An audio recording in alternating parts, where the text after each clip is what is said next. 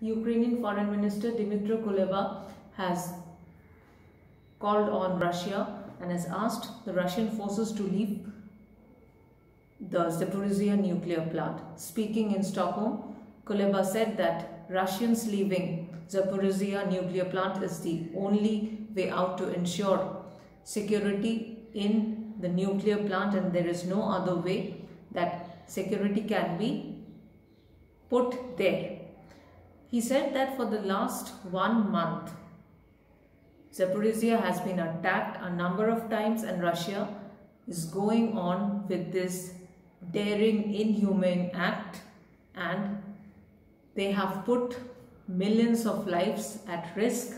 And if there has to be a safety in the nuclear power plant, the only way out is for Russian soldiers to leave the plant Ukraine had been requesting Russians to withdraw.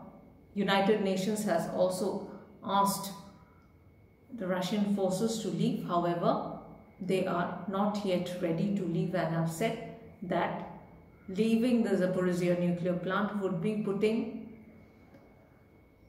the plant at high risk and they will not do that. This is what Russia has said. Stay updated with me.